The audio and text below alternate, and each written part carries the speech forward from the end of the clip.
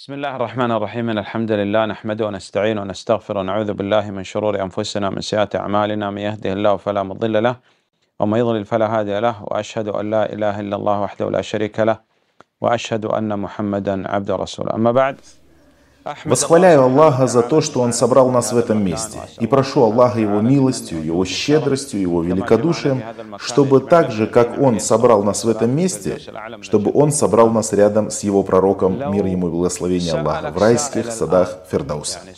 Если кто-то спросит тебя сегодня, если мы спросим этих братьев, для чего вы приехали в мир? Скажите, зачем? Умра? Замечательно, мы приехали на Умру, хорошо. Но если человек увидит тебя на рынке или в ресторане, что он скажет тебе? Он спросит, ты приехал на умру или на рынок? Даже намаз, ведь намаз ты совершаешь не в гостинице. Помни, что здесь тебе дана большая возможность. И это самая выгодная торговля в твоей жизни. Торговля с Аллахом, велик он и славен. Вот, перед вами заповедная мечеть. Любая молитва, которую ты совершишь в ней, обязательно или желательно – или джаназа засчитывается как 100 тысяч молитв.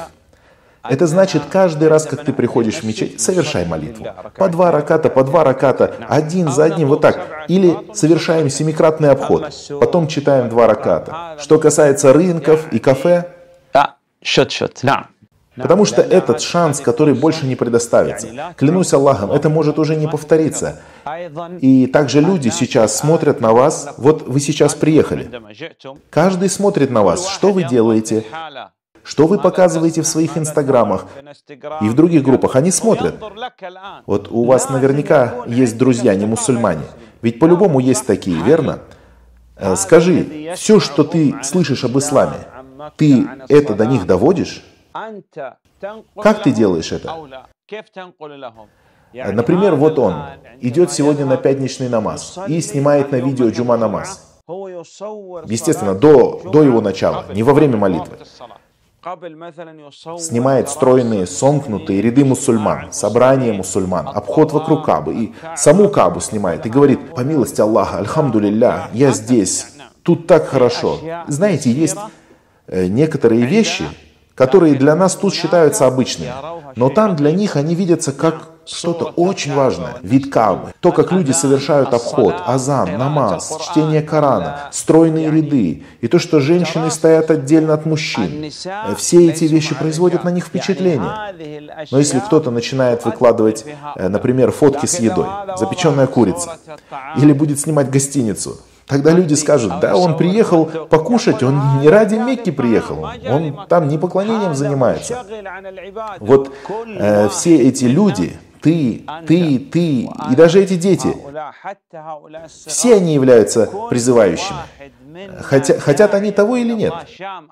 Да, мы сегодня с ними, кстати, уже разговаривали. Дети здесь в Саудии смотрят на Амина, что делает Амин? Читает ли он Коран или играет в футбол? Или что он делает? Они смотрят на этого мусульманина из России. Что он делает? Мы можем здесь небольшими усилиями достичь огромной награды, подобной горам. Возможно, за небольшое слово, которому ты и значения не придашь, Аллах возвысит тебя. Посланник Аллаха, мир ему и благословение Аллаха сказал, не относись с пренебрежением ни к какому доброму делу. Не говори, что это, мол, ерунда, ничего не значит. Особенно вот в это время сейчас. Вы знаете, что неверующие празднуют Новый год. Пустая трата времени, пустая трата имущества. Утрата для женщины, утрата для мужчины. Встреча Нового года. Встречают Новый год бессонницей, утратой, убытками. А ты по милости Аллаха здесь, в Мекке, читаешь намаз. Даже когда ты просто сидишь в мечети, это уже молитва. Когда ты просто сидишь в ожидании намаза, сидишь от намаза до намаза, вот, например, наш Амин сядет после Магриба и будет сидеть в ожидании ночного намаза. Он уже находится в молитве. Однажды я встретился со священником, хвала Аллаху, он принял ислам. Он рассказывал, я родился среди мусульман, вырос среди мусульман и учился среди мусульман. Начальную школу, среднюю школу, старшую школу. И закончил с ними институт. Вместе с ними играл в футбол. Вместе с ними кушал ушел в кафе, но клянусь Аллахом, за все это время ни один из них ни разу не сказал мне про ислам ни одного слова. Вот представьте, слова даже не сказали, а на еду приглашали и на футбол звали.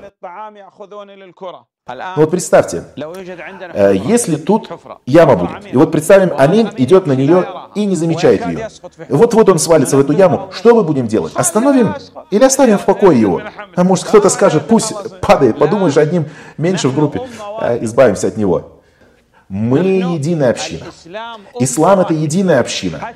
И мы, клянусь Аллахом, и даже для неверующих тоже желаем блага, желаем, чтобы они вошли в ислам.